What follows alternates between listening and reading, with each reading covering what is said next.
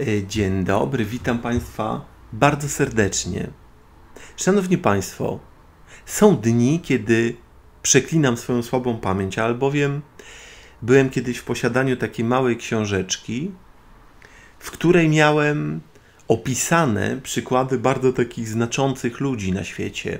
Ludzi sukcesu, e, ludzi władzy, ludzi sławnych, ludzi, którzy coś rozkręcili od zera byli to nie tylko ludzie bez wykształcenia, bo to już jest jakby e, rzeczą oczywistą, że mm, są samouki, są ludzie z talentami, którzy nie skończyli szkół i osiągnęli jakiś potężny sukces. O tym wszyscy wiedzą, natomiast tam byli ludzie brzydcy, mm, z niskim IQ, tam były podawane jakieś przypadki, ludzie z jakimiś takimi. E, no nie mieli, krótko mówiąc, nikt by za nich nie tylko nie dał złamanego grosza, ale by nawet funta kłaków nie dał, że się tak wyrażę.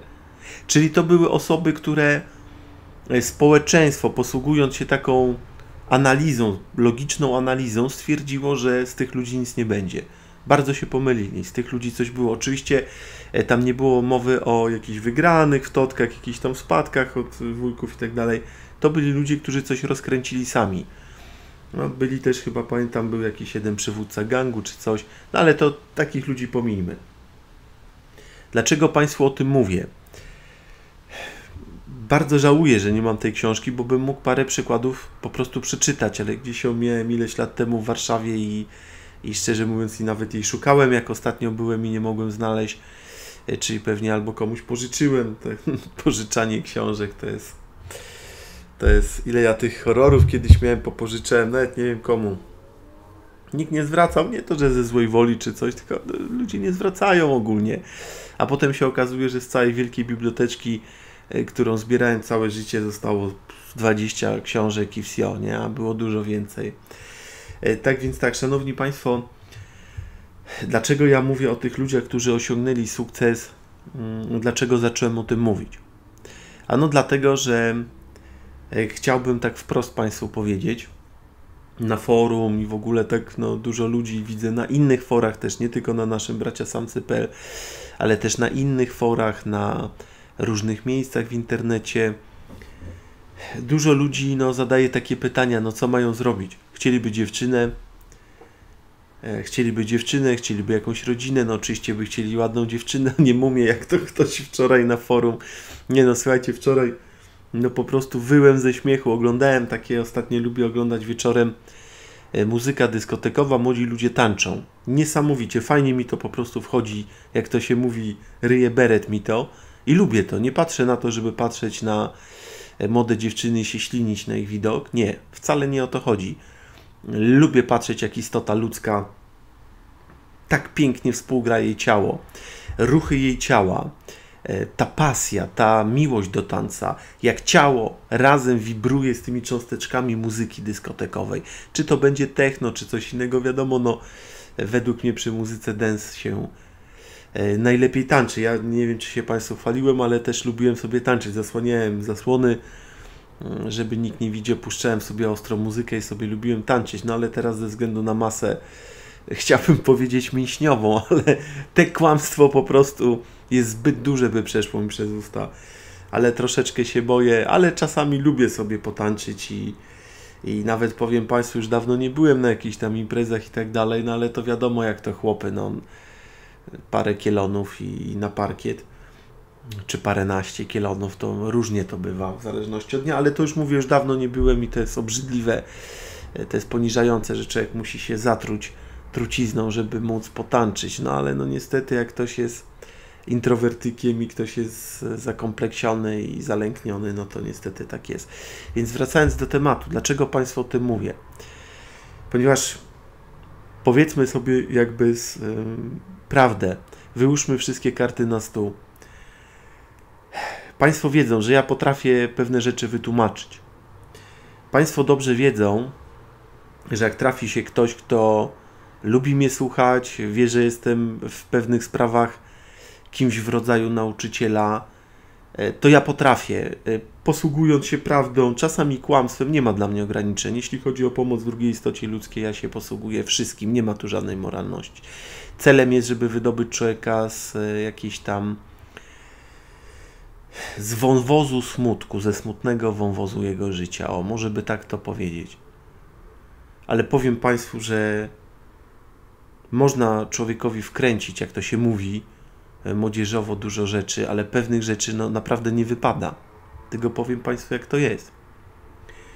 Jest gościu, który ma 1,60 m wzrostu, czyli ma bardzo e, kiepski dla kobiet wygląd. Kobiety dla kobiet 1,80 m, 1,85 m to jest minimum, żeby nazwać mężczyznę przystojnym. Minimum! Kolejna sprawa. Nie ma wykształcenia. Ja też nie mam. No ale on jeszcze w dodatku jest niski. Czyli nie ma tego jakby statusu. Koleżanki siedzą, jedna mówi, mój ma wyższe, skończył, nie wiem, e, nie marketing w Częstochowie, fajnie, fajnie na bazarku u nas ziemniaczki, ja to tak wykładam, a on mówi tu mniejszy, tu większy, no faktycznie 2 e, kilo miesięcznie więcej ziemniaków żeśmy sprzedali. E, prywatny marketing w Częstochowie. No kolejny ma jakiś doktorat, no prywatna socjologia czy coś. Kolejny jest jakimś habilitowanym mm, doktorem, kolejny jeszcze jest jakimś profesorem, no to w ogóle już ten statut jest bardzo wysoki. Oczywiście nie statut gra główną rolę, bo gdyby tak było, to profesorowie by mieli najpiękniejsze kobiety, a niestety tak nie jest. Czy niestety, no po prostu tak jest. Ale tu mamy połączenie. Gościu jest niski, nie ma wykształcenia, czy ma jakąś zawodówę, czy coś czy tak jak ja nie mam matury, no ja chociaż mam liceum ekonomiczne, ale to też nie oszukujmy się, to jest lipa, ja nic tam, żadnej ekonomii nie umiałem. E, to wszystko, co umiałem, to się uczyłem sam z książek. No i jeszcze gościu ma przy okazji z brzydki z twarzy, bo czasami się można spotkać niskich gości. Kiedyś takiego gościa spotkałem e, w... Kurde, gdzie to było? Tam się kiedyś z laskami umawiałem na takie przytulanki.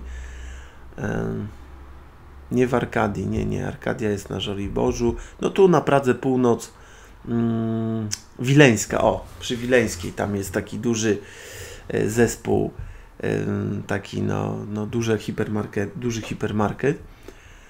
No i tam widziałem przed gościu z 1,60 m wzrostu, ale przypakowany i naprawdę gościu przystojny z twarzy. Mm, to jest wielkie nieszczęście dla takiego chłopaka, że nie urósł.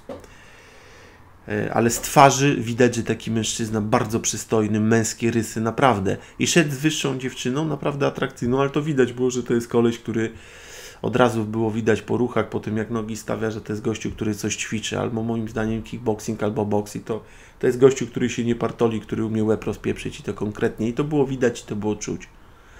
Czyli miał jakieś, może był w jakiejś grupie przestępczej, no to wtedy ten wzrost nie przeszkadza aż tak bardzo. Dlatego no, mamy ludzi, którzy tak, no są niscy, nie mają statusu, są brzydcy z twarzy, mają takie rysy, na przykład ja mam taką mongolską twarz, się zastanawiam nad e, ekstradycją do Mongolii, tam byłbym jakimś takim europejskim Mongołem, e, także może, mm, może byłbym jakimś znanym celebrytą w mongolskiej telewizji.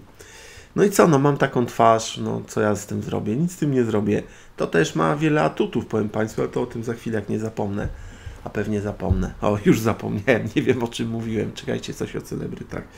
E, tak więc mamy gościa, który nie ma nic, jeszcze w dodatku nie ma pieniędzy, kolejnego bardzo ważnego elementu, który jest ważny dla kobiet. Oczywiście dla młodych romantyczek te pieniądze aż tak bardzo ważne nie są, aczkolwiek są, bo pieniądze to jest romantyczny wyjazd nad morze, to jest kupno alkoholu, czasem kupno jakichś narkotyków, dragów lekkich, wiadomo jak to młodzi ludzie wynajęcie jakiś tam jakiegoś pokoju, żeby sobie poleżeć, seks pouprawiać. No, no nawet, nawet dla takich romantyczek jakieś pewne kwoty są też ważne, e, ale nie aż tak ważne. Dopiero kobieta staje się, dorasta, koleżanki mają już domy, dzieci, e, pojawiają się, mąż przywozi luksusowym samochodem i w kobiecie się rodzi panika. Pojawia się potrzeba pieniądza. Wtedy mogą te wszystkie elementy, takie jak status, wzrost, uroda męska, poziom testosteronu, to czy podnieca, czy robi motylki w brzuchu, to może już troszkę odejść na dalszy plan, bo kobieta, jej część społeczna bardzo chce też dom mieć, mieszkanie fajne, zaprosić rodzinę, pokazać rodzinie, że jestem kimś, że ja też złapałam e, takiego fajnego byczka za rogi, ale to nie jest byczek, tylko to jest, no nie wiem, no wykastrowany konik mały i co? No i byczka to sobie weźmie na boku. No ale ważne, mieszkanko jakieś ładne, dobry samochód, może jakiś y, domek na wsi. Większość Polaków tego nie ma. Więc jakby ona to miała, no to miałaby ten status wysoki, materialny.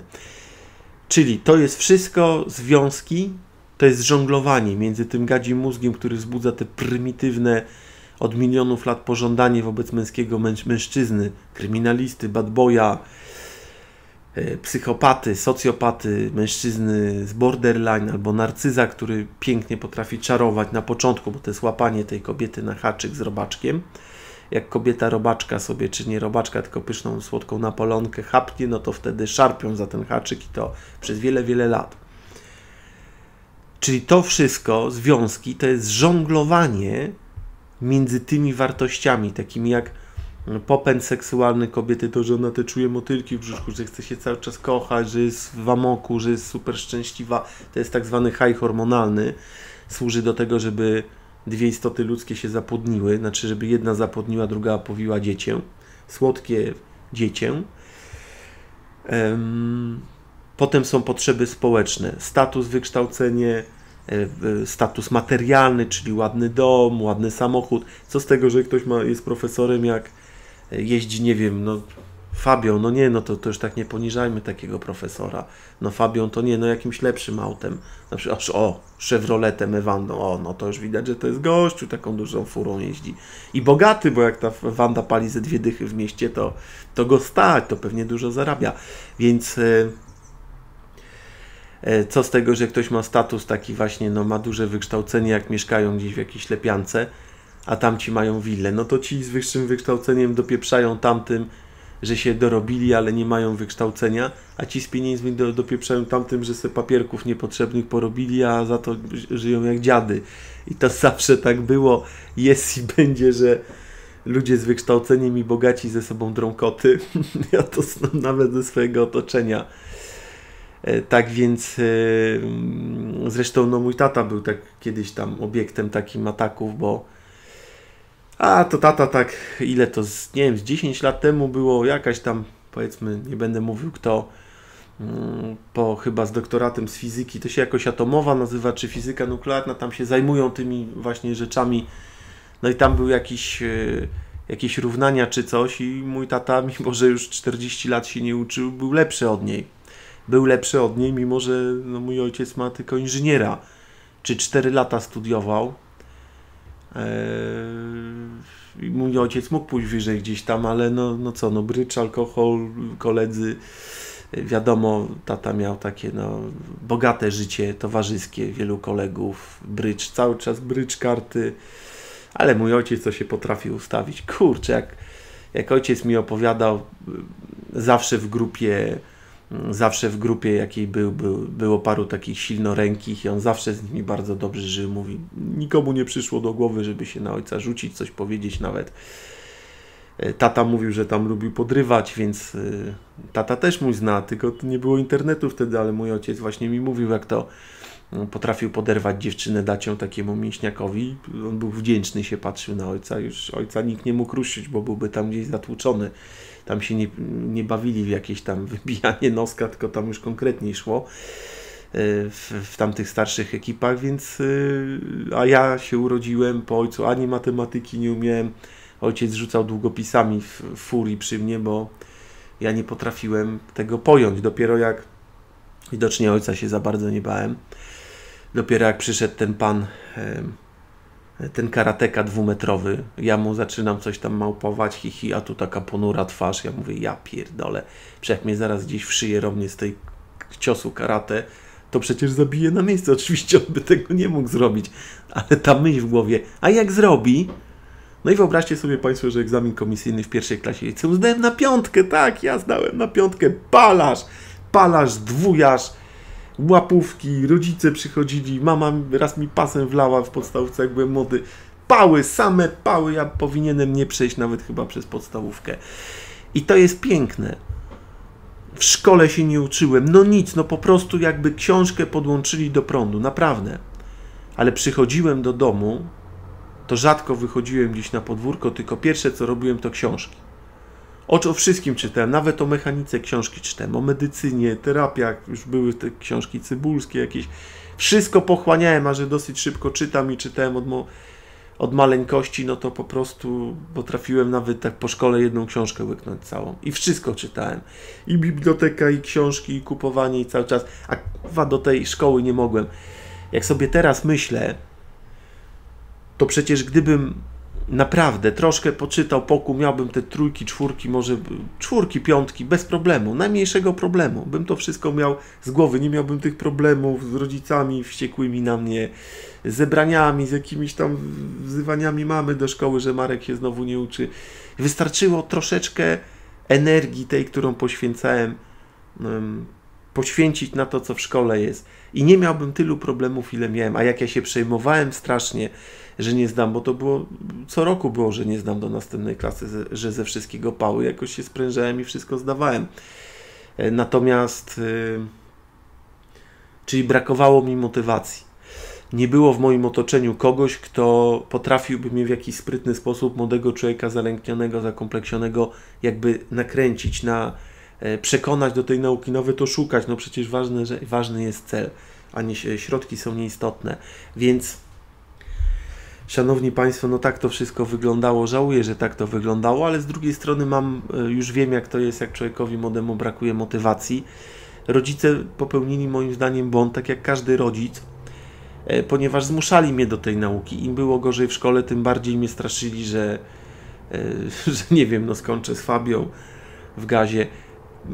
Tak więc po prostu rodzice źle podeszli, bo podejrzewam, raczej jestem przekonany, że gdyby rodzice mi powiedzieli, że wiesz co Marek, e, nie ucz się, e, nie zdasz, będziesz sobie w domu siedział i tyle, i tylko tam cię będą trochę palcami pokazywali. Przepraszam? A? A? No wzięło mnie na kichnięcie i co? Przepraszam. Tak więc e, gdyby mi zakazali się uczyć, to podejrzewam, żebym pod kołdrą z latarką siedział i zakuwałbym miał same szóstki, no ale jakby no młodzi ludzie są tacy wobec rodziców, że się stawiają i to trzeba umieć sprytnie obejść. To jest rzecz normalna.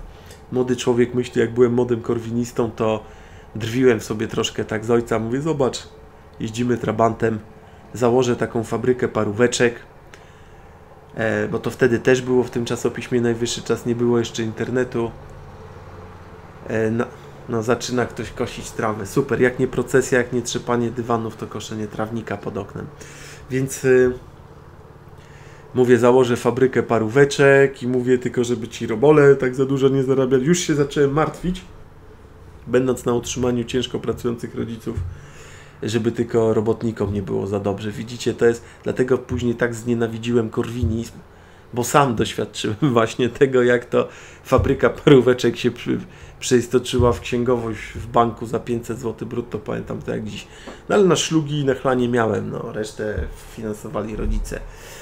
E, także tak, dziadostwo, ani założyć rodziny, ani się uniezależnić. Ja nie wiem, jak ludzie mogli za to żyć. Miałem na okresie próbnym wtedy. Pierwsza praca moja była w BGŻ na Żoliborzu w dziale księgowości. Prosta robota, słuchajcie. No wklepywałem, wklepywałem przelewy w komputer, w, w program. Prosta robota. Tak więc, szanowni... Nie, ja chyba zamknę okno. Kurczę, poczekajcie chwilę. No, już zamknąłem okno. Więc powiem Państwu, że tak się troszkę oddaliłem myślami. Jak to jest, że mój stary był taki... Znaczy jest, znaczy jest, no. No był w takim sensie, że potrafił sobie poradzić z rzeczami, którymi ja nie potrafię. Ale natomiast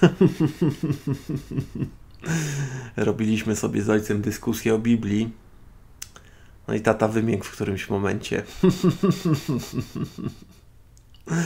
o Boże, kochany, jak ja się pastwiłem nad tymi rodzicami intelektualnie. Także, e, także to tak. Dlatego właśnie tak wracając do tematu. Mm, właśnie tak znienawidziłem Korwinizm, bo zobaczyłem, co on naucza. Zobaczyłem trochę, jak Korwin się posługuje ludźmi i potem jak uścisk ręki prezesa w zamian za uczciwą pracę. E, jak potrafili spieprzyć, mój wujek się prawie dostał jako radny, spieprzyli gdzieś źle coś podpisali. Gościu, który nie potrafi papierkologii załatwić do żeby swoich ludzi poustawiać jako radnych, chciał zarządzać 40-milionowym państwem. Wtedy już zacząłem kumać, że coś nie tak. Ale tak wtedy mówili, no, że Korwin taki no, myślami przy wielkich rzeczach jest, a nie przy małych. No ale niestety wielkie rzeczy powstają z małych, a pyszne rzeczy, pomidorki, ogóreczki z gówna, tak, z trupów. Przecież to wszystko jest w ziemi, tej ziemi. Dobrze, koniec już tych wycieczek e, osobistych się rozmarzyłem, bo patrzę sobie w piękne chmury, szanowni państwo. Muszę patrzeć, żeby mm, mięś, mięśnie oka się relaksowały. I powiem państwu, że hmm, dlaczego o tym mówię. Po pierwsze o tym mówię, bo jestem gadułą i nie mam z kim gadać i nie mam się w kogo za przeproszeniem wypróżnić, no to szanowni państwo, jesteście moimi przyjaciółmi, musicie to znieść. To jest pierwsza sprawa. Druga sprawa jest taka, że jak widzę człowieka, który nie ma ani pieniędzy, ani urody, ani wzrostu, ani wykształcenia, e, to powiedzcie mi, co ja mogę do cholery powiedzieć mu? Co ja mogę powiedzieć? Oczywiście mogę uderzyć w tony religijne. Mogę uderzyć, jeśli zobaczę, że wierzy w ezoterykę. Będę żonglował jego wierzeniami, jego poglądami, tradycjami, żeby utrafić w coś, co lubi. Natomiast fakt faktem, że niezależnie od tego, co mu wytłumaczę i jaki mu filtr zamontuję na świadomości, to niestety kobiety nie będą nim zainteresowane. Nie będą, ponieważ nie ma żadnych z elementów, które sprawiają, że kobieta chciałaby z takim facetem być. Tak więc yy, ja powiem Państwu, jaką ja stosuję taktykę. Stosuję taktykę prawdy. Stosuję taktykę prawdy i dlatego właśnie mówiłem Państwu na początku, czyli 20, prawie 2 minuty temu, o tej książce, gdzie były właśnie takie osoby, które osiągnęły sukces. Trzeba człowiekowi powiedzieć wprost. Nie masz żadnego z elementów, który by podniecał interesował kobietę. Po prostu nie masz. Nie wiadomo dlaczego tak się stało. Czy masz kiepskie geny, loteria genowa kiepska, czy może masz nie taką jak trzeba karmę i się wcieliłeś w takie ciało, żeby tego doświadczyć, a może to jest wszystko jakiś przypadek? Nie wiemy. Wiemy natomiast jedno, że kiedy nie masz żadnej z tych rzeczy, to trzeba sobie powiedzieć, co można zwiększyć w tej sytuacji, co można polepszyć, ulepszyć, stuningować, a czego się nie da. Trzeba zrobić konkretny biznesplan dla takiego człowieka. Załóżmy, że gościu ma 1,60 m. Dla mężczyzny to tragedia. No powiedzmy sobie szczerze. Co mu możemy powiedzieć? Przez wiszenie na drążku bardzo często w ciągu dnia wydłuży się maks chyba o 3 cm, tak jak czytałem. Można. Krążki się międzykręgowe, one są ściśnięte od siedzenia, od chodzenia. Ok, można to trochę rozciągnąć. Korpus będzie dłuższy o 3 cm. No, lepszy ryc niż nic ale nóg nie rozciągniesz sam, rąk nie rozciągniesz, głowy nie dostosujesz nawet do tego rozciągniętego ciała. Gdzieś tam dawno temu czytałem, ponoć robią jakieś wydłużenia kości czy coś, mają jakiś sposób na to. Nie mam pojęcia jaki, nie wiem jak to jest możliwe. Ale dobra, no strzelmy, że te 3 cm jeszcze mu 4, dobra, nie, dobra, 5. 5 cm, niech go wyciągają na maszynie. Nie wiem jak to robią, nie wiem czy to jest możliwe. Pewnie jest, skoro o tym gdzieś kiedyś czytałem jakiejś poważnej literaturze. Dobra, 5 plus 3. Ile? 8. Więc 8 cm, 168 cm przy założeniu, że będzie wisiał całymi dniami i przy założeniu, że zbiera gruby hajs na wyjazd do Szwajcarii. Ale podkreślam, ten gość nie ma kasy. Pozostaje wydobyte w ciężkich trudach 3 cm zwiszenia na drążku, kiedy grawitacja rozciąga kręgosłup i ciągnie go do dołu. 3 cm. Ma 163 cm. Niewielka to jest różnica przy czymś takim. Lecimy dalej. Czyli wzrostu nie poprawi. Co z twarzą? Pewne rzeczy da się poprawić. Ewentualnie można skorzystać z korekty chirurga plastycznego. Można coś zrobić z nosem, można z podbródkiem coś zrobić. Jeśli ktoś jest bardzo brzydki, można uszy odstające, trochę nie wiem jak oni to robią, żeby one były bliżej głowy. Można jakąś bliznę zrobić, chociaż u mężczyzny niektóre blizny dodają takiego zbójeckiego uroku. Można parę rzeczy zrobić, ale podkreślam, nie ma kasy. Za co zrobi operację plastyczną? No właśnie. Można wtedy zadbać o fryzjera, ale co zrobić, jak jest łysy i wyłysa, wyłysiał w młodym wieku? Co zrobisz? Łysi też są pożądani przez kobiety, ale jeśli mają inne elementy swojego jakiegoś statusu, tak? Status materialny, wykształcenie, pieniądze i tak dalej. Nie ma włosów. Jeśli ma włosy, pójść do naprawdę dobrego stylisty. Najlepiej pójść do jakiegoś homoseksualisty. Oni się znają na tym, oni w tym siedzą. Oni w tym siedzą. Oni się dobrze znają na tym, on na ciebie spojrzy, powie taką, taką fryzurę, żeby troszkę odróżniać od tłumu, dodać optycznie kilka centymetrów. Ja na przykład, żeby moja jajowata głowa nie była taka jajowata, e, po bokach się tnę prawie na łyso, pani fryzjerka mnie prawie na łyso, a u góry zostawia kilka milimetrów więcej. W ten sposób optycznie moja głowa wydaje się bardziej owalna i lepiej wyglądam. Gorzej jak to zaczyna zarastać, no muszę co dwa tygodnie, trzy chodzić do fryzjera, będę chodził częściej już pani się na mnie tak patrzy, jak myśli, może się zakochałem w niej czy coś, a bardzo porządna, fajna kobieta. Taka lubię tę panią fryzjerkę, do której chodzę, powiem Państwu. Taka na początku kilkanaście wizyt się nie odzywała, lubię coś takiego. Nie trajkotała, nie wpieprzała się w moje sprawy, nie dopytywała, bo już i takie były panie na horyzoncie. Musiałem zrezygnować z usług. I fajna, i teraz jakieś delikatne rozmowy czy coś, a to taka kobieta, powiedziałbym, jest taka kobieta z klasą, lubię ją. Tak więc e, chyba też e, introwertyczka. Lubię introwertyczki, ekstrawertyczki. No są fajne, ale na sam początek są fajne, potem już by mi przeszkadzała taka ekstrawertyczka, bo ja jestem człowiekiem spokojnym, lubię sobie posiedzieć, poczytać, coś przy kąpie posiedzieć, a tutaj byłoby cały czas, a chodź tu, a chodź tam. I musiałbym zrezygnować ze swojego komfortu życiowego, a nie mam na to ochoty. Dlatego, szanowni Państwo, Dalej lecimy. Zrobić mu jakoś włosy, tak? No jak ma brzydkie zęby, no koniecznie trzeba zęby ponaprawiać, powybielać. Polecam przy niedużych zabrudzeniach olej kokosowy. Przy okazji jest to ponoć bardzo zdrowe, to się ssa. Ja to robię rano, teraz dzisiaj zrobiłem 10 minut, bo się śpieszyłem. Wieczorkiem można pół godziny i sobie tak o tak sobie człowiek robi i ten olej ma po prostu pływać między zębami. Wybiela o 2-3 E, o 2-3 odcienie. To jest słowa dentysty, który to kontrolował. E, przy okazji działa ponoć bardzo dobrze, szybko goi dziąsła. Ja mam taki problem, mam kieszonkę między zębami, jak coś jem tam, czasami mi coś wchodzi, potem to nitką wyciągam, czasami podrażnię sobie dziąsło. I powiem Państwu, że jak 2-3 dni mi dziąsło pulsowało, to jak sobie dwa razy dziennie walnę ten olej kokosowy, to nie boli. Naprawdę jest fenomenalna rzecz. Tylko olej kokosowy musi być naturalny, nie może być rafinowany. W sklepach jest drogi. Ja kupiłem taki mały, fajny szklany słoik za 4 dychy z hakiem. Przepłaciłem. Za 9 dych można kupić 3 słoiki po 700 ml. Jest bardzo przyjemny w smaku. Rozpuszcza się, jak bierzesz go do ust od razu. Przy 25 stopniach się topi. Dlatego widzę w pokoju ciągle jest stopiony. Tu jest moim zdaniem grubo ponad chyba 30.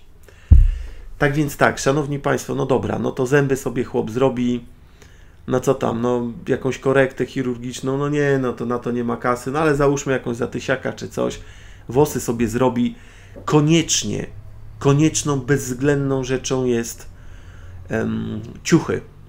Kiedyś, gdy byłem młodym człowiekiem, już nawet pisałem te artykuły, nie przykładałem do tego dużej wagi i to był cholerny błąd, ponieważ ludzie, którzy Ci widzą, pierwszą opinię, jaką mają, to jest na, na podstawie Twojego ubrania jeśli się uśmiechasz, masz czyste białe zęby, jesteś ładnie, elegancko ubrany, masz czyste buty eleganckie, to zupełnie inaczej jesteś postrzegany. To jest bardzo ważna rzecz. No dobra, pojedzie taki gościu do dobrego sklepu, no poczekajcie, ile ja zapłaciłem za garniak? Tysiąc coś zapłaciłem za garniak. I kupiłem sobie taki, Państwo widzą czasami, piękny frak. No to gościu mi spuścił, bo no, wydałem u niego chyba prawie 7 tysięcy w sklepie na te ciuchy, więc za 700 zł mi sprzedał piękny ni to frak, ni to garnitur. Czyli taki garnitur, ale z cechami fraka. Piękny, bardzo mi się podoba, świetnie w tym wyglądam, świetnie się w tym czuję. Um, on jest granatowy i ma czarne klapy. Super elegancki, naprawdę no ekstra. I powiem Państwu, że taki ładny garnitur, 1500, koszula, no to tam dwie stówy, mówię w lepszym sklepie, żeby nie kupować dziadostwa. Buty można skórkowe już kupić za 350. No spinki do mankietów ja kupiłem jakieś tam takie, ale nie chce mi się ich zakładać. A moja przyjaciółka ucieka jak nagrywam, bo się robię dosyć nerwowy. Ona nie chce, potem się denerwuje. Także jestem trochę takim tyranem. E, także, mm, no co tam jeszcze? Pasek można skórzany kupić. E, kamizelka jest bardzo elegancka, nie kupowałem, bo akurat w tym sklepie, gdzie u Wulczanki byłem, nie było akurat, była za mała na mnie, jestem chłopakiem trochę cięższym, a tam stóweczka na, na wadze to nie jest tak dużo. Co tam jeszcze? Warto do tego kupić ładny zegarek, nie jakiegoś tam G-Shocka czy coś tam w tym stylu, tylko no coś eleganckiego, tak? No ja sobie kupiłem zegarek u Lis Nardin. Tam ktoś ostatnio wklejał jakiś podobny za 7500. Mój jest dużo droższy. E, poza tym mam automatik, tylko niestety no, troszkę szybkę załatwiłem, ale nie widać tego na pierwszy rzut oka. Nawet kupiłem rotomat i nie wiem, czy Państwo słyszą, on chodzi w tym rotomacie, się kręci. Ale ja to zrobiłem dla lansu. Zrobiłem to dla lansu, żeby ładnie wyglądać, bo wiedziałem, że to jest to do ludzi przemawia. Wystąpiłbym w zwykłych ciuchach, powiedzieliby, że dziad. Występuję w tych, to jestem złodziejem, który okradł ludzi i sobie kupuje drogie ciuchy, ale lepiej być złodziejem, który okrada ludzi, bo to budzi większe zainteresowanie. Co bym nie zrobił i tak będą, e, będą po mnie jechali, więc wolę robić tak, żeby jechali z tym zaciśnięciem zwieracza, niż żeby z radością, że nie stać mi na ubrania. Także mam wybór hejtu, jaki spada na mnie, tak? Więc korzystam. Czyli dobra, bierzemy tego gościa, zęby jakoś zrobimy, no ale zęby to są duże wydatki. A jak zęba nie ma, trzeba implant. Dobre, porządne implanty są bardzo drogie. Nie ma kasy. Na NFZ robi się chyba implanty z tyłu czy jakoś tak. No, no kicha z tym jest, tragedia. E, czasami ludzie mają zęby wybijane, no to ja trochę siedziałem w tych e, papierach e, sądowych, patrzyłem jak to wygląda. Lubię takie sprawy sądowe i w ogóle jak to jest robić. Widziałem takie po pobiciach, lubię takie obdukcje sobie poczytać, czasem mam możliwość, więc sobie poczytam. Oczywiście Wysoki Sądzie kłamałem z tym czytaniem, bo to nie można, także kłamałem. No i co? I Załóżmy zęby zrobi co może, z fryzurą zrobi co może, jeśli ma włosy, ładnie się ubierze, buty, to, to już jest dużo, ale to jest nadal za mało. Bo co, kobieta cię weźmie pod rękę, co, gdzie pojedziecie?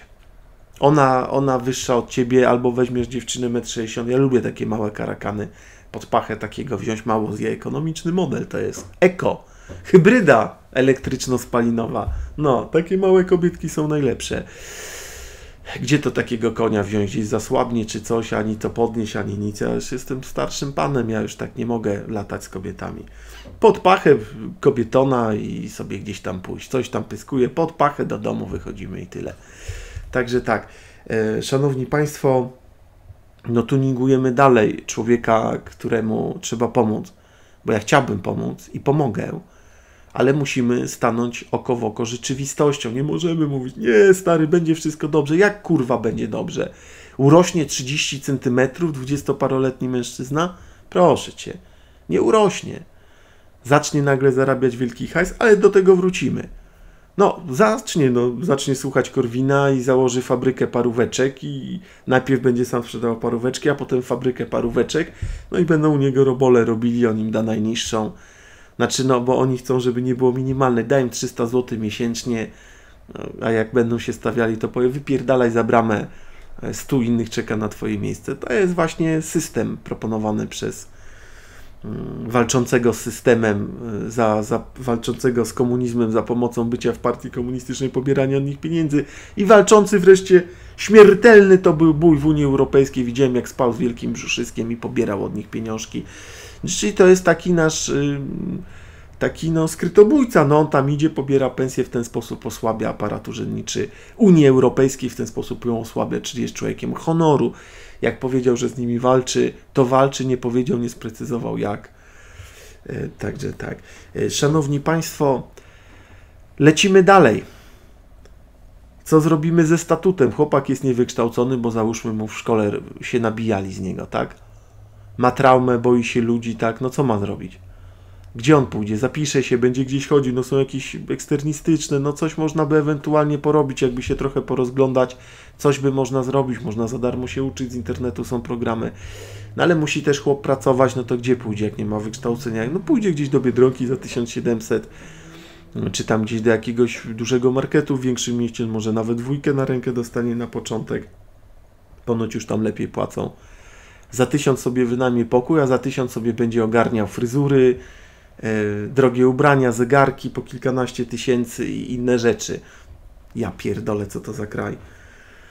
Znaczy kraj piękny, tylko ludzie kurwa, jak powiedział Piłsudski, ale y, ja uważam, że ludzie tu też są piękni, tylko no niestety no, po zaborach, po, po okupacji wyrżnięto najlepszy, y, najlepszy jakby intelektualny oręż narodu polskiego i zostawiono masę chłopstwa i niewiele się tych inteligentnych ludzi y, przetrwało, dlatego mamy takie prostactwo, ale to minie, bo ludzie tych tych prostaków chodzą na studia, uczą się, poznają świat, podróżują, więc to się jakoś będzie powoli wyrównywało, chyba że będzie kolejna wojna i nas wyrżną.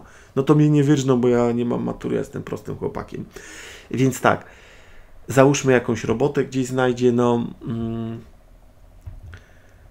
no i czyli ten człowiek nie ma nic. Nie ma na nic szans. Chyba, że będzie liczył na wygraną w totka. Ja nie gram w totka, nie wierzę w wygraną. To jest wszystko moim zdaniem poustawiane w większości przypadków nie wierzę też w spadek od wujka z Ameryki. Więc co ja bym proponował takiej osobie? A no właśnie tutaj by się przydała ta książeczka. W tej książeczce było pokazane, że ludzie, mm, na których nikt by nie postawił złamanego grosza, radzili sobie. Radzili sobie, e, stawali się mm, bardzo znani, coś wymyślali, byli wynalazcami, stawali się jakimiś inicjatorami nowych prądów jakichś społecznych. Nie mieli nic, ale nagle coś się w nich otworzyło. Nagle coś się w nich otworzyło i mieli jakiś pomysł. Kiedy spojrzymy na historię dyktatorów, ja wiecie Państwo, że ja bardzo dużo o Hitlerze czytałem, bardzo dużo, latami. I tam ktoś kiedyś pisał, że Hitler miał tam 1,73 m, czyli na tamte czasy nie był wcale taki niski. Ale po przyjrzeniu się bliżej, Hitler Hitler był brzydkim mężczyzną. Hitler był brzydkim mężczyzną, nawet patrząc na tamte czasy. Był nerwowy, miał dziwne ruchy. Stalin miał jedną rękę krzywą, chyba uschniętą, suchą. E, podobno latami nie zdejmował butów. Wyobraźcie sobie, jak, jak zdjął buty, to pewnie cały krem usnął. Miał ospowatą twarz, był brzydki, śmierdzący, miał problemy z zębami bezustannie. Cuchnęło mu po, podobno strasznie z ust. Mussolini 1,60 m parę, łysa czaszka, dziwne podskakiwanie. Mussolini to jest bardzo dziwny człowiek. Te przemówienia jego są takie bardzo jakieś takie dziwne, ale mają swój urok. No Włosi to jest taka właśnie specyfika, e, więc śródziemnomorska, więc e, ci wszyscy ludzie wcale nie byli przystojni. Na początku nie byli bogaci. Mieli straszne problemy. Stalin był dwa razy na zesłaniach na Sybirze. Był bandytą, który siedział po więzieniach. Hitler malował obrazy, mm, był w przytułku. E, w wojsku widział straszne rzeczy, przecież był na froncie, został odznaczony, był kurierem.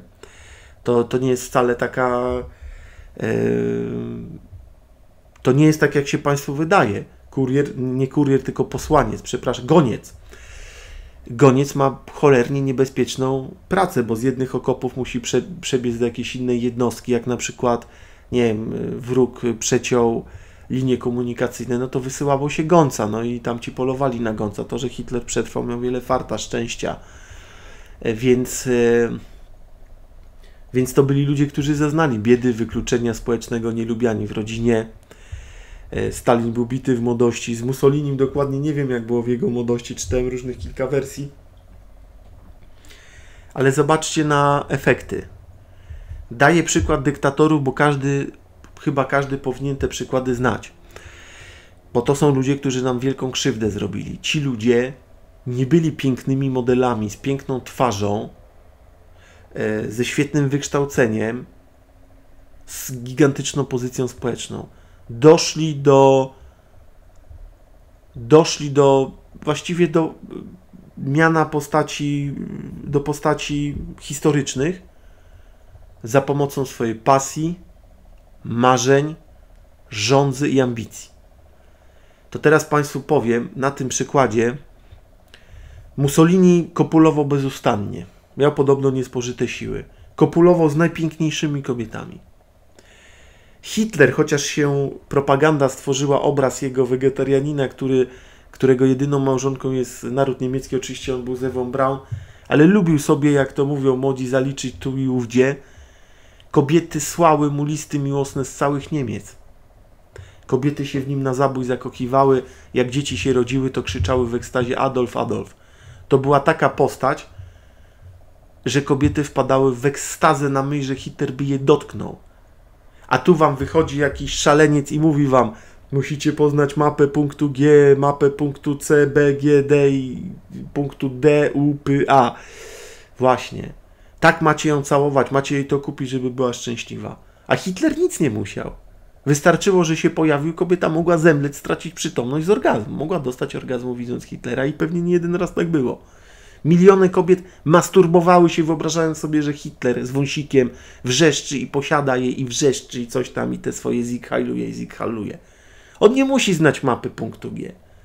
On nie musi wiedzieć, jak głaskać kobietę. On nie musiał wiedzieć, jak rozpalić w kobiecie płomień. Po prostu był. Dlaczego to tak działało? Ano dlatego, że był bardzo ważny. Jeden z tych wskaźników, wartość społeczna, miał wyskilowaną, jak to mówią gracze gier komputerowych, aż do nieba. Czy Hitler był super przystojniakiem? Czy Hitler umiał się bić? Czy był bad boyem w sensie, że bójki w knajpach? To był bardzo odważny człowiek, było na niego ponad 100 zamachów.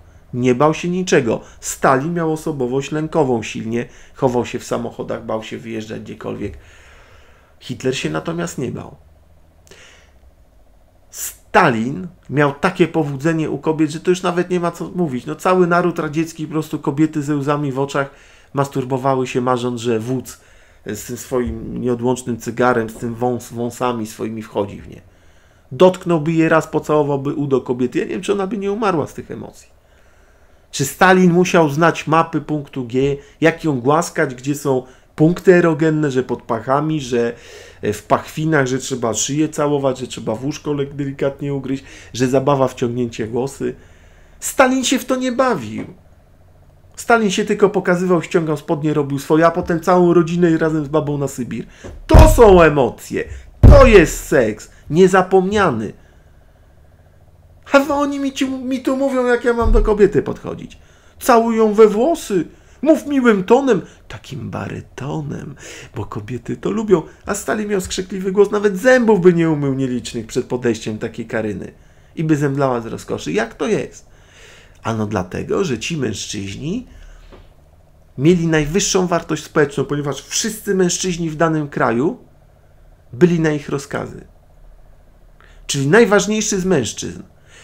Tu masz profesora marketingu, tu masz multimiliardera, tu masz jakiegoś bedboja szefa mafii i wychodzi taki z suchą ręką Stalin i tam ci dygoczą ze strachu, dygoczą ze strachu. Bo jedna myśl Stalina, jedna rzecz się Stalinowi by nie spodobała i razem z rodziną do piątego pokolenia albo zostają rozwaleni, torturowani na Ubiance, albo wysłani na Sybir. I kobiety doskonale wiedzą, kto przy kim drży. I to jest właśnie alfa. Alfa to jest mężczyzna, który dowodzi innymi mężczyznami. Czyli najważniejszy z mężczyzn. Co z tego, że ten ma pieniądze, ten ma wielką urodę, ten ma władzę, ten e, zarządza jakimiś bandytami. Przychodzi jeden człowiek i ma władzę nad ich życiem i śmiercią, nad wszystkim.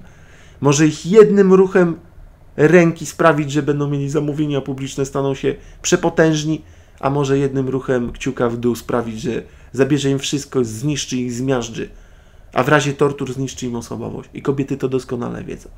Więc co ja proponuję młodym polskim mężczyznom, którzy są w takiej sytuacji? No cóż, szansa, że zostaniecie kolejnym Hitlerem, Stalinem czy Mussolinim Proponuję więc takim osobom, żeby się stali alfami w swoim środowisku. Nie musicie zarządzać całymi państwami, miastami, ale na przykład swoja firma, to już zostawiam do Państwa dyspozycji. Musicie się stać kimś, kto zarządza innymi mężczyznami. Czyli jeśli nie potrafimy poradzić sobie z większością wad, które macie, musicie zmaksymalizować jedną rzecz. O ile natura, medycyna, e, poziom dzisiejszej wiedzy medycznej, technicznej zamkną przed Wami drogę na te życie, jeśli chodzi o wzrost, jeśli chodzi o urodę, jeśli chodzi o, o zęby, o wygląd czaszki i tak dalej, to macie jedną rzecz, której nikt wam nie odbierze. Umysł. Umysł i zdolność tego umysłu do wizualizowania. Umysł zawsze ciągnie człowieka tam, gdzie ten człowiek ma w sobie jakąś wizję. To, co Państwu wielokrotnie mówiłem i nawet nagrałem na tym kanale Marek Kotoński wideo, że dopóki trzymasz w swojej głowie obraz sukcesu, mimo że wszystko wokół ciebie się wali, nikt nie mówi, żebyś ty mówił, że jest ok. Podejmujesz działania, robisz co w twojej mocy, natomiast w umyśle wierzysz święcie w jakiś obraz siebie jako człowieka sukcesu. W czym jest problem? Problem jest w tym, że ludzie niscy, brzydcy od dzieciństwa mają przejebane. Koledzy ich dręczą przeważnie, dziewczyny się z nich wyśmiewają. Dziewczyny są bardzo okrutne dla, dla brzydkich mężczyzn. Kobiety stają się misiowate i kochane przy przystojnych mężczyznach, bo nie chcą, żeby ten ich zostawił. Ale jak widzą brzydkiego mężczyznę wyśmiewanego przez grupę, to kobiety jako osoby kolektywne często to widziałem się przyłączają do nagonki. Nie jest to miły widok. E, dlatego tacy ludzie mają przejebane. Nie dość, że wchodzą w te życie z niskim wzrostem, z brakiem zębów, urody, z dziwną jakąś czaszką, bez pieniędzy, bez wsparcia rodziców, a rodzice często też e, czują rozczarowanie dzieciakiem, synem, bo chcieli mieć wysokiego sportowca, biznesmena, a tu mają chłopaka, który ciągle płacze, ma depresję, e, popija sobie, żeby się trochę lepiej poczuć, co jest całkowicie zrozumiałe. I teraz oprócz tych wszystkich nieszczęść jeszcze mamy najgorsze nieszczęście. Tym najgorszym nieszczęściem jest to, że ten młody mężczyzna, czy już starszy, został przekonany przez społeczeństwo, w którym żyjemy, że jest do niczego. Właśnie dlatego chciałem mieć tę książkę. Tamci ludzie też byli przekonywani, że są do niczego.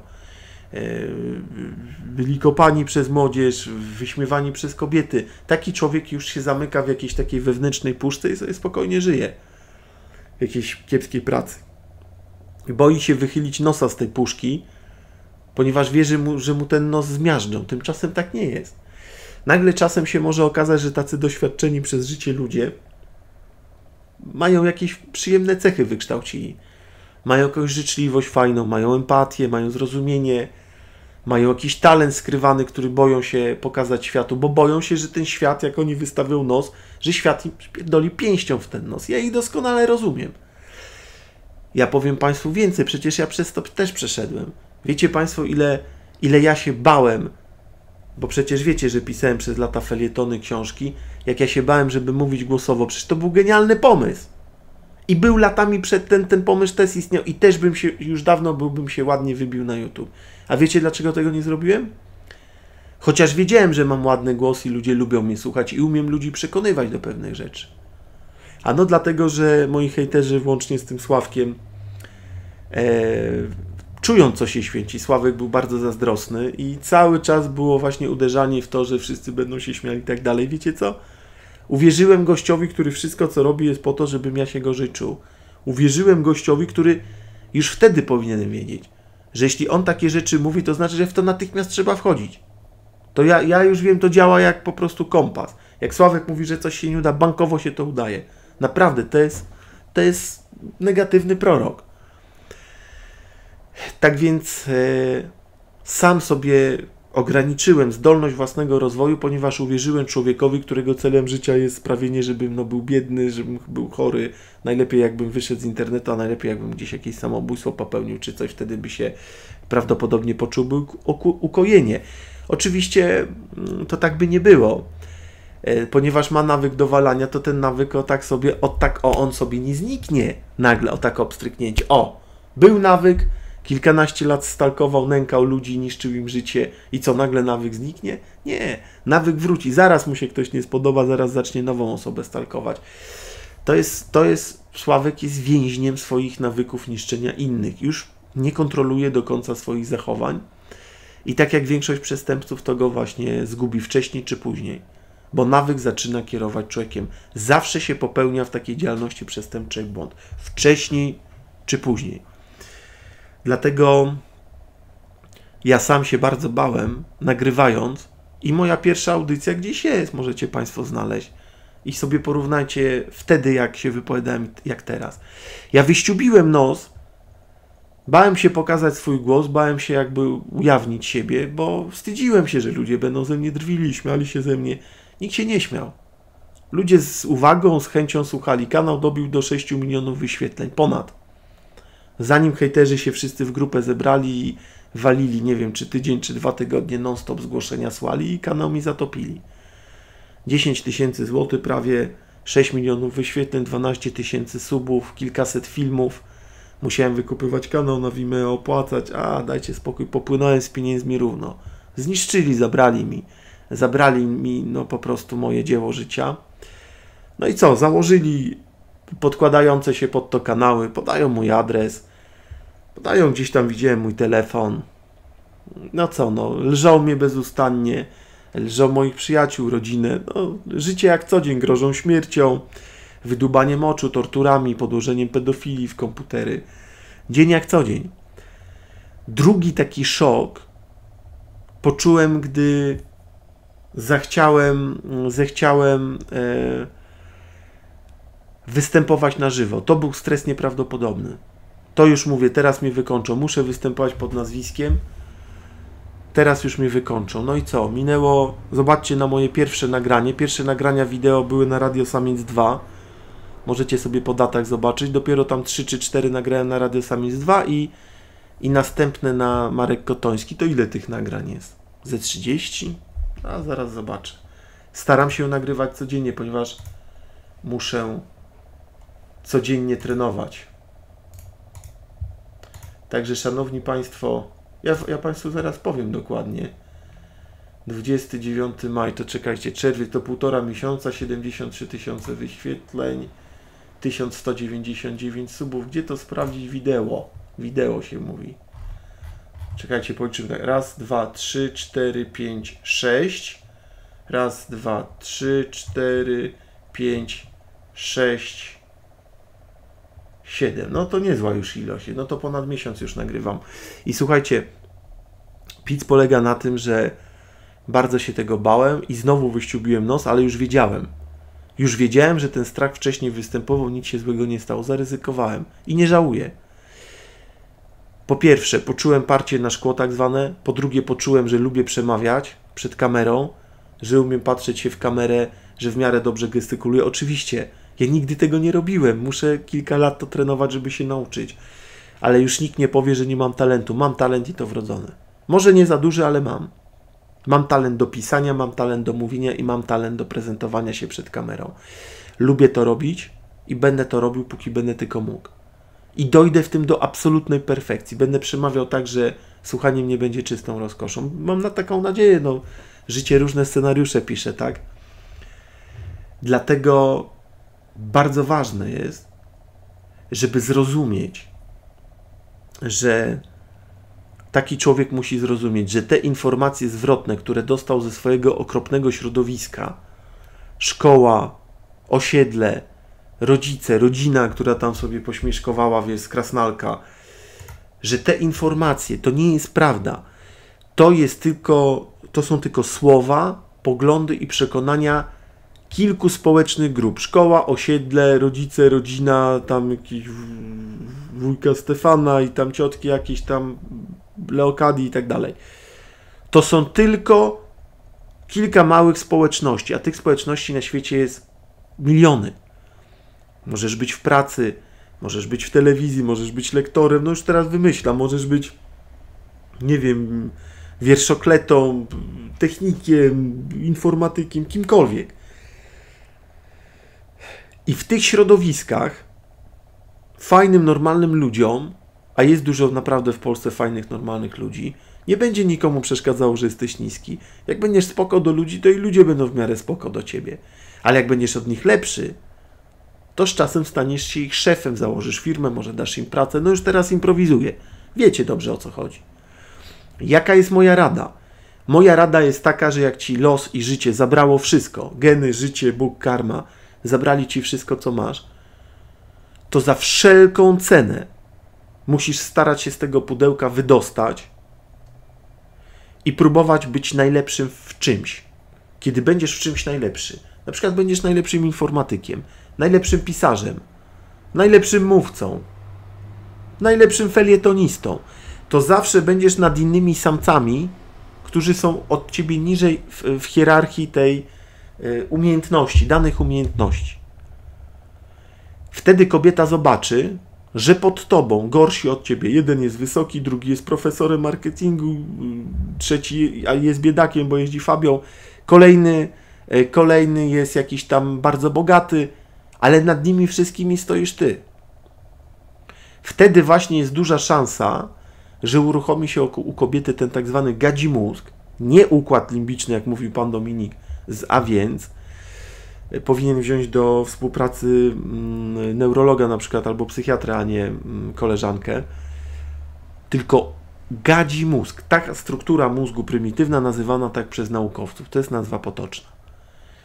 Będziesz nad innymi samcami i to jest Twoja jedyna szansa, jeśli chcesz się bawić w zabawę zwaną związki, rodzina i tak. Jeśli nie chcesz, pozostaje Ci nadal robienie pieniędzy, robienie sukcesu, i będziesz sobie korzystał, będziesz kochał się z najpiękniejszymi prostytutkami, bo jak zapłacisz 3-4 tysiące za noc, to będziesz miał nawet dziewczyny z Dubaju. Tylko raczej odradzam całowanie się z nimi, bo tylko dobry Pan Bóg wie, co one tam w tych ustach trzymały. E, tak więc, Szanowni Państwo, nie będę Wam kłamał, nie będę Was, e, farmazonów Wam pociskał. Jeśli macie przesrane przez naturę, przez genetykę, pozostaje Wam tylko jedno. Pozostaje Wam się stać najlepszymi w swojej dziedzinie, tak, by inni mężczyźni byli pod wami. To jest zawsze działający, genialny środek na gadzi mózg kobiety, która się czuje wtedy dziwnie podniecona, podrajcowana i sama nie wie, co się dzieje. No niby niski, może jeszcze nie za bogaty, przepraszam, ale coś sobie ma.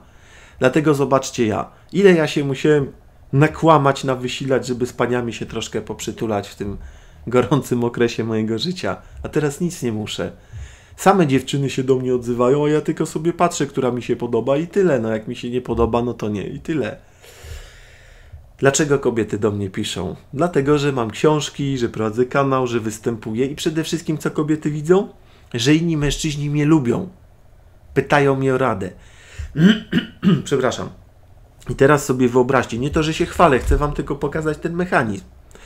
Dziewczyna sobie wyobraża, jest z Tobą. Jeden, znowu zaczynamy, jeden ma fajne wykształcenie, drugi ma więcej hajsu ode mnie, trzeci jest wyższy i przystojniejszy. No nie jest trudno być ode mnie przystojniejszym.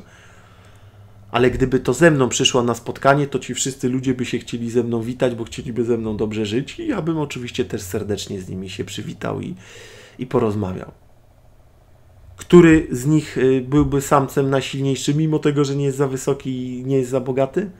Ja byłbym tym samcem w tej społeczności. Bo jeśli poszedłbym na kółko różańcowe, to wiadomo, że tam samcem alfa jest ksiądz. Też księża mają romanse z mężatkami, to bardzo często, bo to jest samiec alfa, który stoi na czele społeczności. Na czele społeczności, którą stworzyłem od zera, w ciężkich warunkach, tym sobie zdobyłem szacunek u mężczyzn zwłaszcza u tych, którzy przeszli przez jakieś cięższe rzeczy w życiu, to oni wiedząc o IBS-ie, o tych moich problemach, oni dobrze wiedzą, co to jest. Bo ktoś, kto miał lekkie życie, to powie, a tam Maruś tam znowu o tych biegunkach gada, o tych dresiarzach.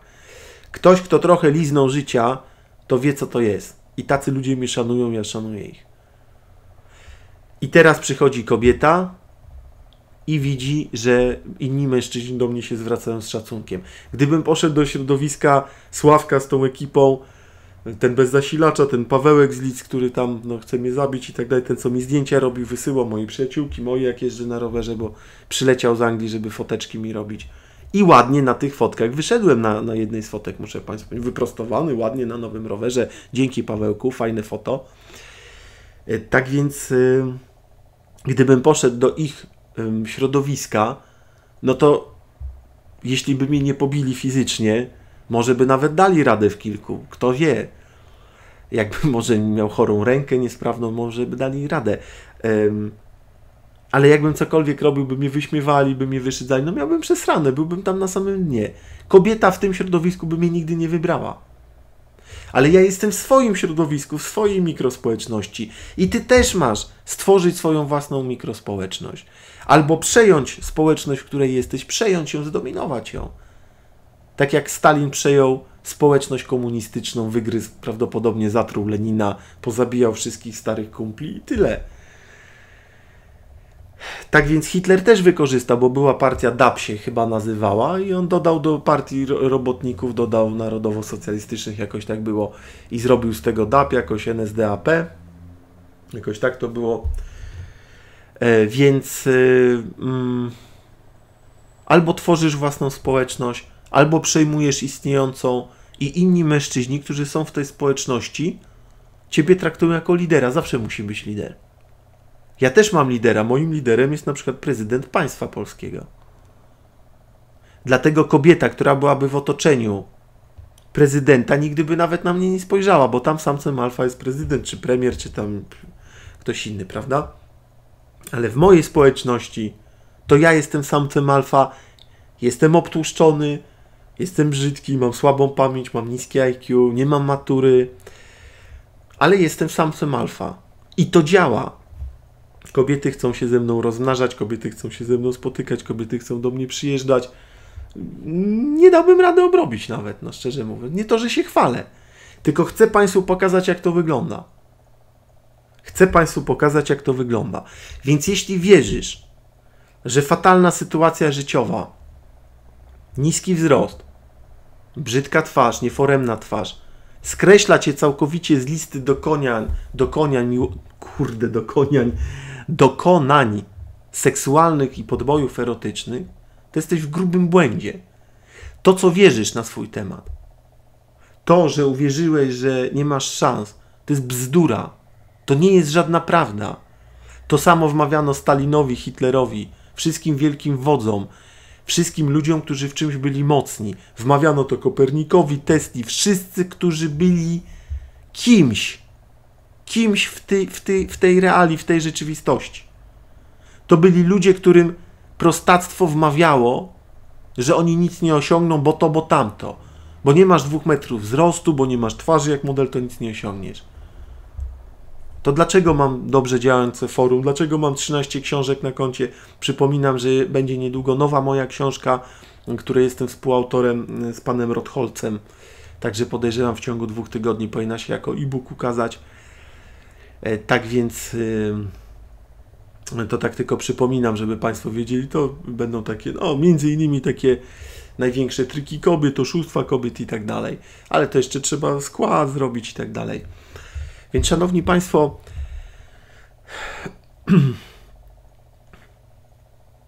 nie lękajcie się. Nie lękajcie się. I pamiętajcie, że to, co sądzicie o sobie we własnej głowie, to nie jest żadna prawda objawiona, tylko to jest prawda tego prostactwa wokół Was, które myśli, że jak ktoś nie ma wykształcenia i ktoś nie ma pieniędzy i urody i super umiejętności na start, to nic nie osiągnie. Gówno prawda. Historia świata temu przeczy. Biografie najpotężniejszych ludzi temu przeczą. Zrozum, że wychodząc, wydrapując się z tej jaskini cudzych poglądów, które cię poniżają, robią siebie małego człowieczka, zdobywasz dodatkową moc i siłę. Wszechświat się dla ciebie otworzy, jak łono pięknej, 17-letniej dziewczyny. Tak właśnie jest. To jest najtrudniejsza wycieczka. Kurwa, jaki wspaniały temat do audycji. Jezu, muszę. Czekajcie, muszę to zapisać gdzieś szybko. Bo zaraz. Kurwa, gdzie jest długopis jakiś? Nic nie. Dobra. Nic nie mogę znaleźć. Wycieczka. Wycieczka z jaskini rozpusty, nie? Z jaskini, z jaskini cudzych. Kurde, zajebiste. Wycieczka z jaskini cudzych przekonań. Dobra, będzie super audycja jakaś o tym.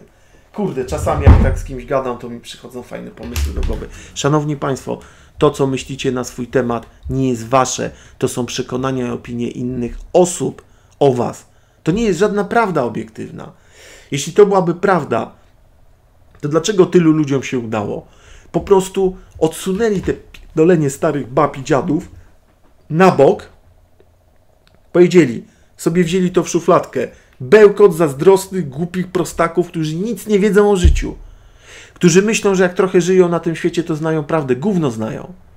Nic nie znają. Co osiągnęli?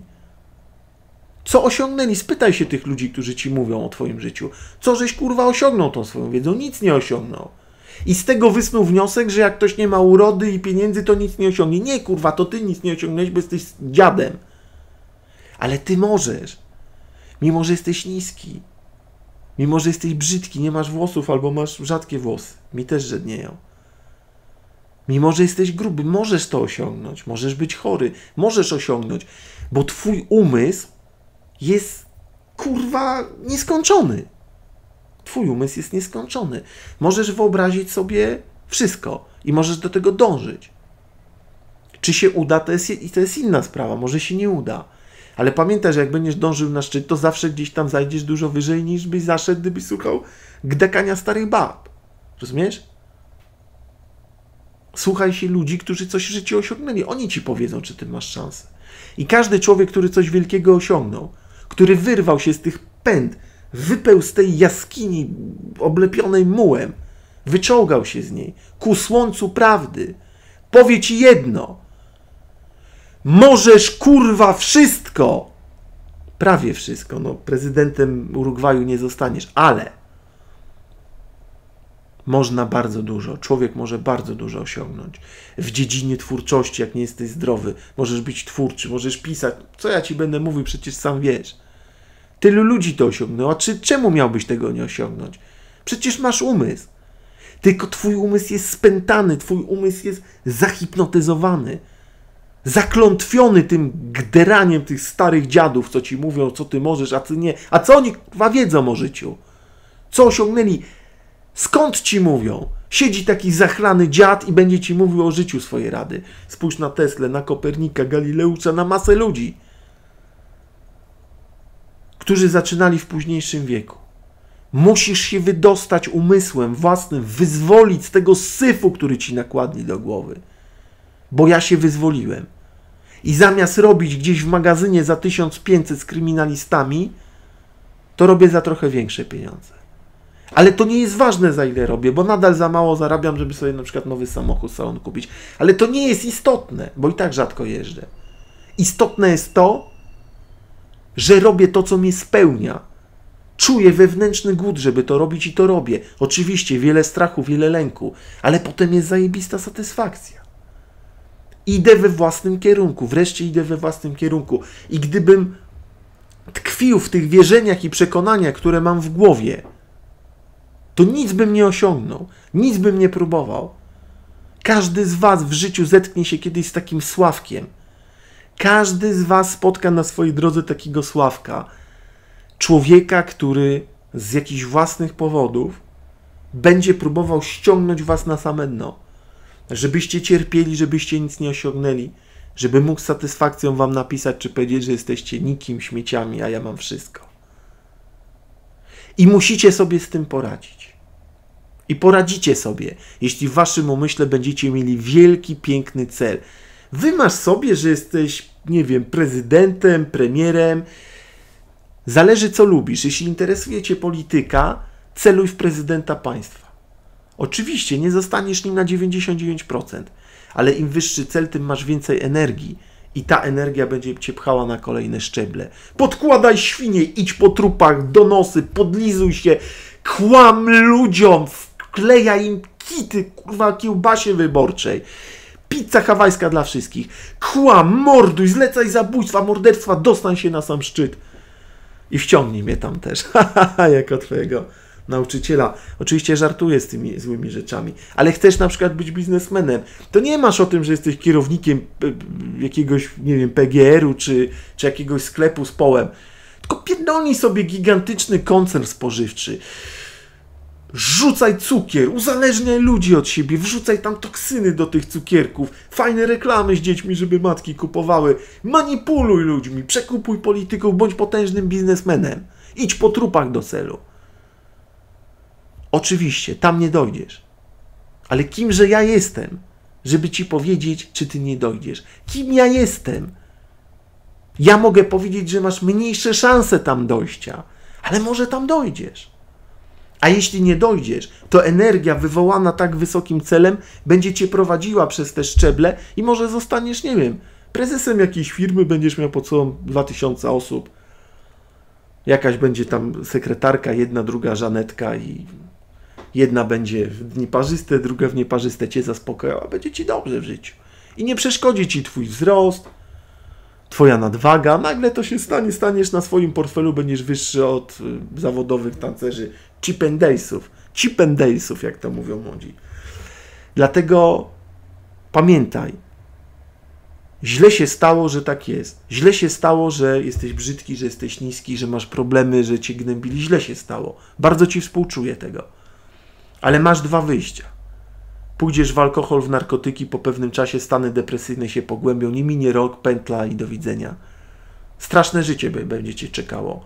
Albo sobie wymasz wielki cel. Pamiętaj, duży cel.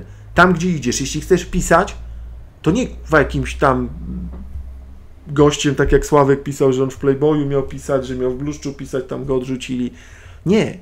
Że jesteś kurwa szefem koncernu, który zrzesza największych pisarzy, że piszą o tobie, wyobrażaj sobie, że Stephen King płacze, wiesza się, bo przyszedł ktoś, kto go pokonał, kogo powieści są. Rozumiesz o co chodzi? Przesadź. Ale zobacz tę wizję. I nie mów o tej wizji nikomu, mów ją tylko mi. Mów ją na forum, bo jak na forum cię ktoś wyśmieje, to ja go zaraz y, wywalę stamtąd. Bo sobie nie podcinamy z braćmi skrzydeł na forum, tylko sobie dodajemy skrzydeł. Wymasz sobie olbrzymi cel i nie mów temu prostacu, bo jak powiesz chłopowi, który całe życie przy łopacie robił, i powiesz mu, że chcesz być prezesem koncernu i mieć piękny dom i prywatny odrzutowiec, to co on kurwa zrobi? On się poczuje nikim wtedy. Zatakuje cię, będziesz miał wroga. Nie mów, nigdy nie mów prostym ludziom. Tu masz braci na forum, nie ujawniaj swojej tożsamości, wiadomo dlaczego, i nam się pochwal i my ci pomożemy. Cel musi być obłąkanie duży. Przecież gdyby taki Hitler, młody chłopak, który chodził po przytułkach, Sprzedawał kiepsko malowane obrazy. Widziałem te obrazy Hitlera, nic specjalnego. Kiepścizna. Ale rysować umiał, to trzeba mu powiedzieć. Natomiast architektem był beznadziejnym. Zbudował sobie chyba w, Ob w Obersalzbergu, zrobił sobie pod balkonami garaże. Czyli każde odpalenie samochodu i tam się wszyscy dusili na górze od. No był kiepskim architektem. I gdyby ktoś usłyszał młodego chłopaka, który powiedział, że chce dominować nad światem, no przecież wyobrażacie to sobie? No przecież to byłby śmiech. Gdyby Stalin, złodziejaszek, bandyta napadający na banki, siedzący gdzieś w pierdlu z ręką uskniętą, z ospowatą twarzą, 1,70 m wzrostu czy mniej, powiedział, że będzie najpotężniejszą osobą w historii ludzkości. Człowiekiem, który w danym okresie historycznym miał najpotężniejszą, najsilniejszą armię świata. To przecież by go zabiliby go śmiechem. A spójrzcie na Mussoliniego. Łysy, mały, taki wesoły, podskakujący. Że będzie w sojuszu e, z jednym z najpotężniejszych ludzi świata i prawie, prawie się udało rządzić tym światem. Prawie. Kilka błędów Hitlera sprawiło i Mussoliniego.